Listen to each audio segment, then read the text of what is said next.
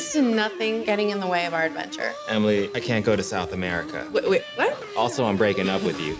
When? Like right now. This is it. You're in the middle of it. You don't want to lose no, this. No, I don't. No, just stop. You poor thing. You look awful. Thank you. We'll get through this. This is a long hug. All right. Okay. Mom, look how fun you were. Pack your bags. We're going to South America. Absolutely not. Everybody knows you need two years to plan a vacation. You don't do anything fun anymore. That's not true. I've been taking sculpting lessons at the Y. Ta-da! I told you I would not acknowledge that. That is frightening, and you made that. Okay. Here, put this on. What is this? A rape whistle. This is a dog whistle, Mom. Are you afraid I'm gonna get raped by dogs? oh my god! It works.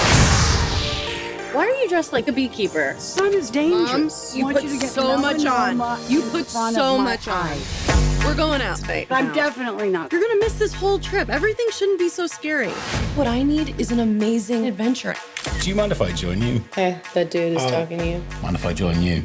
Uh, not you. It was me. Can you kind of beat it? Because you're a distraction. hey! In the club with my bad baby. Where the hell are we? The scenic route.